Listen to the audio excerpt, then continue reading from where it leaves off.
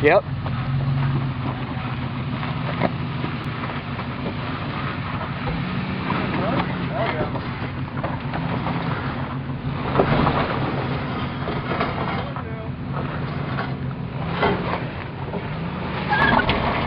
Ooh, you got some rock rash now.